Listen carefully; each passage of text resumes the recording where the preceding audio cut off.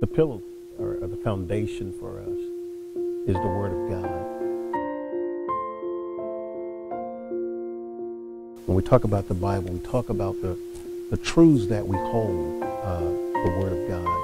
Uh, not only do we hold these truths, but these truths hold us. And so everything we do is rooted and based in the Word of God. It is our foundation. It is our, uh, uh our, our core compass uh, for, uh, for life and living. Uh, when we talk about pillars, the vertical members, things that we build that, are, that are strength, that are points, reference points for us. One of the things that that this ministry, the ministry is central, of our focus uh, is to to build strong and stable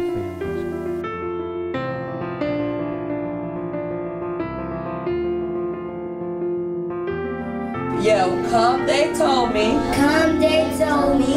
Pa rubber pum pum. Gum rubber pum pum. A newborn king to see. A little boy came to see. New, new, a newborn king to see. A new boy came to see. Pa rubber pum pum. Gum rubber pum pum. Our finest gifts we bring. Our finest gifts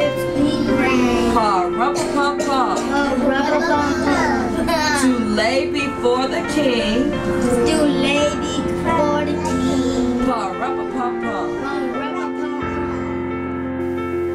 And so if we're going to change this world, we got to start with personal renewal. We've got to start with the grassroots, at the, at, at, at the, at the, the, the building block of society. The building block of society is the family. What strengthens the family strengthens society. When families falter, society falls apart.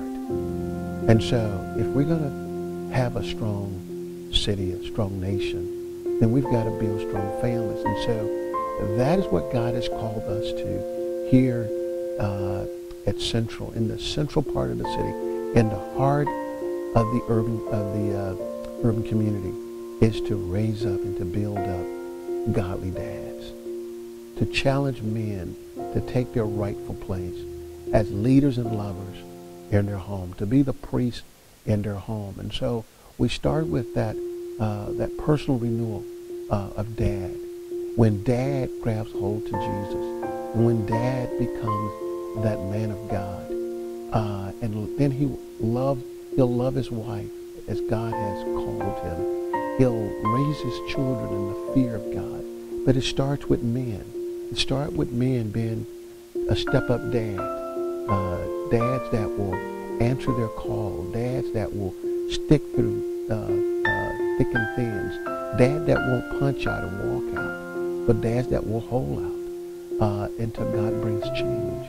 And so, so we need godly fathers. We need godly husbands, but it starts with a godly man. And so it starts with personal renewal. Uh, my relationship with the Lord Jesus Christ.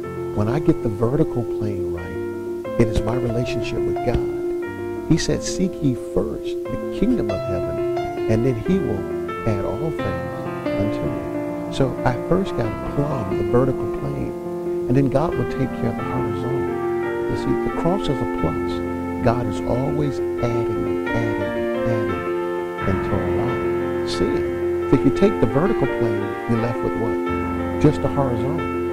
And, and the horizontal by itself becomes a minus. That's negative. So anytime we try to do life without Christ, it's negative. And so there's no mystery why we have so many people that are, that are washing the shore, so many lives that are running around and run amok because we're trying to do life without the architect and the, the designer of life. He has the roadmap. He has the compass for our life. And so, uh, you know, it's like, uh, you know, when you buy an automobile, one of the first things you look for in the car is what? The manual. You know, because in the manual, the manufacturer knows how the car should operate. Well, we have the manual. It's called the Holy Bible. You know, and that's our manual. That's our uh, our manual for life and for living. It's the B-I-B-L-E, basic instructions before leaving Earth.